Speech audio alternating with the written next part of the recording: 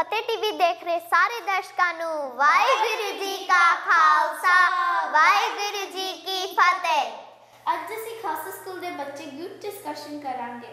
ਕਿ ਅਸਲੀ ਸੁੰਦਰਤਾ ਕੀ ਹੈ ਫਰੈਂਡਸ ਅੱਜ ਮੈਂ ਬਿਊਟੀ ਕਾਂਟੈਸਟ ਵਿੱਚ ਪਾਰਟਿਸਿਪੇਟ ਕਰਨ ਜਾ ਰਹੀ ਹਾਂ। ਬਿਊਟੀ ਕੰਟੈਸਟ ਹਾਂ। ਉਹੀ ਜਿੰਦੇ ਵਿੱਚ ਅਸੀਂ ਫੇਸ ਨੂੰ ਵਾਈਟ ਪੇਂਟ ਕਰਕੇ ਤੇ ਆਰਨਾਮੈਂਟਸ ਵੇਅਰ ਕਰਕੇ ਜਾਈਦਾ ਹੈ ਫਰੈਂਡਸ ਆਪਾਂ ਰੋਜ਼ ਹੀ ਗੱਲਾਂ ਕਰਦੇ ਹਾਂ ਅੱਜ ਆਪਾਂ ਡਿਸਕਸ਼ਨ ਕਰਦੇ ਵੀ ਨੈਚੁਰਲ ਬਿਊਟੀ ਕੀ ਹੁੰਦੀ ਹੈ ਨੈਚੁਰਲ ਬਿਊਟੀ ਉਹ ਮੈਂ ਦੱਸਦੀ ਹਾਂ ਤੁਸੀਂ ਇੱਕ ਨਿਊਬਰਨ ਬੇਬੀ ਵੇਖਿਆ ਨਾ ਹਾਂਜੀ ਉਹ ਕਿੰਨਾ ਸਵੀਟ ਹੁੰਦਾ ਹੈ ਹਾਂ ਬਿਲਕੁਲ ਜੇ ਤੁਸੀਂ ਇੱਕ ਨਿਊਬਰਨ ਬੇਬੀ ਤੇ ਇੱਕ ਸਾਲਾਂ ਚਨਕੜੀ ਬੁੜੀ ਨੂੰ ਕੰਪੇਅਰ ਕਰੋਗੇ ਤੁਹਾਨੂੰ ਪਤਾ ਲੱਗੂਗਾ ਜਿਹੜਾ ਨਿਊਬਰਨ ਬੇਬੀ ਆ ਉਹਦੇ ਕੋਲ ਜ਼ਿਆਦਾ ਨੈਚੁਰਲ ਬਿਊਟੀ ਆ ਵਿਦਆਊਟ ਮੇਕਅਪ ਲੇਕਿਨ ਮੇਕਅਪ ਤਾਂ ਆਪਾਂ ਨੂੰ ਸੋਹਣਾ ਬਣਾਉਂਦਾ ਹੈ ਮੈਨੂੰ ਇੱਕ ਗੱਲ ਨਹੀਂ ਸਮਝ ਆਈ ਅਸੀਂ ਆਰਨਾਮੈਂਟਸ ਕਿਉਂ ਵੇਅਰ ਕਰਨੇ ਆ ਜਿਹੜੇ ਆਰਨਮੈਂਟਸ ਵੇਅਰ ਕਰਦੇ ਆ ਉਹਨਾਂ ਨੂੰ ਲੱਗਦਾ ਆਰਨਮੈਂਟਸ ਪਾ ਕੇ ਜ਼ਿਆਦਾ ਸੋਹਣੇ ਬਣ ਜਾਂਦੇ ਨੇ ਪਰ ਆਰਨਮੈਂਟਸ ਦੇ ਪਿੱਛੇ ਕੋਈ ਹੋਰ ਸਟੋਰੀ ਹੈ ਕੋਈ ਹੋਰ ਸਟੋਰੀ ਉਹ ਵੀ ਆਰਨਾਮੈਂਟਸ ਦੇ ਪਿੱਛੇ ਉਹ ਕਿਹੜੀ ਤੁਸੀਂ ਸਾਰਿਆਂ ਨੇ ਬਫਲੋ ਵੇਖਿਆ ਹਨਾ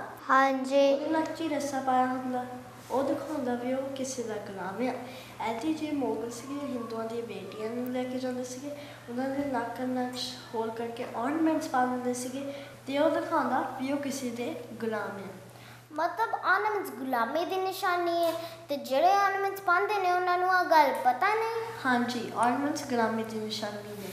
ਤੇ ਜਿਹੜੇ ਆਰਨਮੈਂਟਸ ਵੇਅਰ ਕਰਦੇ ਆ ਉਹਨਾਂ ਨੂੰ ਪਤਾ ਹੀ ਨਹੀਂ ਹੋਣਾ ਤਾਂ ਹੀ ਤਾਂ ਪਾਉਂਦੇ ਨੇ। ਗੁਰੂ ਜੀ ਫਰਮਾਉਂਦੇ ਨੇ ਸਹੀ ਸੁੰਦਰ ਸੋਹਣੇ ਸਾਧ ਸੰਗਤ ਜਨਮੈਣ।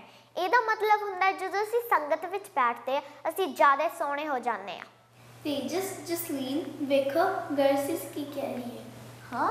ਬਿਲਕੁਲ ਜਦੋਂ ਆਪਾਂ ਸੰਗਤ ਵਿੱਚ ਬਹਿੰਦੇ ਆ ਉਦੋਂ ਹੀ ਆਪਾਂ ਨੂੰ ਆਪਣੇ ਇੰਟਰਨਲ ਗੁਣਾਂ ਦਾ ਪਤਾ ਲੱਗ ਜਾਂਦਾ। ਹੁਣ ਇੰਟਰਨਲ ਗੁਣ ਕੀ ਨੇ? ਪ੍ਰੇਮ ਦਇਆ ਸੰਤੋਖ ਧੀਰਜ ਇਹੀ ਆਪਣੇ ਇੰਟਰਨਲ ਗੁਣ ਗੁਰੂ ਜੀ ਫਰਮਾਉਂਦੇ ਨੇ, ਨਿਮਰ ਸੋਖਰ ਕਵਣ ਗੁਣ, ਜੇਬਾ ਮੰਨਿਆ ਮਤ। ਇਹ ਤਾਂ ਭੈਣੇ ਵੇਸ ਕਰਤਾ ਵਸ ਆਵੀ ਕਾ ਇਹਦਾ ਮਤਲਬ ਹੈ ਵੀ ਆਪਾਂ ਨੂੰ ਨੀਵੇਂ ਹੋ ਕੇ ਰਹਿਣਾ ਚਾਹੀਦਾ ਹੈ। ਤੇ ਦੂਸਰਿਆਂ ਨਾਲ ਮਿਲ ਕੇ ਰਹਿਣਾ ਚਾਹੀਦਾ ਤੇ ਮਦਦ ਵੀ ਕਰਨੀ ਚਾਹੀਦੀ ਹੈ। ਜਦੋਂ ਬੀਬੀ ਭਾਨੀ ਜੀ ਦਾ ਵਿਆਹ ਹੋਇਆ ਸੀ ਸ੍ਰੀ ਗੁਰੂ ਰਾਮਦਾਸ ਜੀ ਨਾਲ ਸ੍ਰੀ ਗੁਰੂ ਅਮਰਦਾਸ ਜੀ ਨੇ ਬੀਬੀ ਭਾਨੀ ਜੀ ਨੂੰ ਤਿੰਨ ਗਹਿਣੇ ਦਿੱਤੇ ਸੀ ਪੱਬੇ ਦੇ ਰੂਪ ਵਿੱਚ। ਤਿੰਨ ਗਹਿਣੇ ਪੱਬੇ ਦੇ ਰੂਪ ਵਿੱਚ? ਹੁਣ ਉਹ ਕਿਹੜੇ ਨੇ? ਪੱਬਾ ਭਾਣਾ ਜੀ ਪੱਬਾ ਭੁੱਲੀ ਜੀ ਤੇ ਪੱਬਾ ਭਲਾ ਜੀ। ਪੱਬਾ ਭਾਣਾ ਜੀ ਦਾ ਮਤਲਬ ਹੁੰਦਾ ਹੈ ਵੀ ਜੋ ਪਰਮਾਤਮਾ ਨੇ ਕੀਤਾ ਉਹ ਸਹੀ ਕੀਤਾ ਹੈ। ਪੱਬਾ ਭੁੱਲੀ ਜੀ ਦਾ ਮਤਲਬ ਹੁੰਦਾ ਹੈ, ਜੇ ਤੁਹਾਡੇ ਤੋਂ ਗਲਤੀ ਹੋ ਜਾਵੇ ਤਾਂ ਸਾਰੀ ਮੰਗ ਲਈਦੀ ਆ। ਪੱਬਾ ਭਲਾ ਜੀ, ਪਰਮਾਤਮਾ ਨੇ ਜੋ ਕੀਤਾ ਉਹ ਹੁਕਮ ਮੰਨਣਾ ਚਾਹੀਦਾ ਹੈ।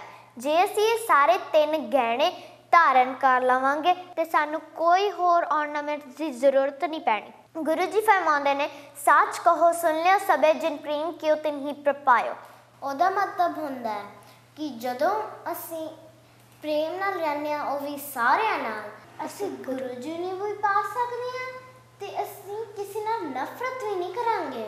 ਸੱਚੀ ਅੱਜ ਮੈਨੂੰ ਪਤਾ ਲੱਗਿਆ ਵੀ ਮੇਕਅਪ ਹੀ ਸਾਰਾ ਕੁਝ ਨਹੀਂ ਹੁੰਦਾ। ਅਸਲੀ ਸੁੰਦਰਤਾ ਗੁਣਾਂ ਨਾਲ ਹੁੰਦੀ ਹੈ। ਵਾਹਿਗੁਰੂ ਜੀ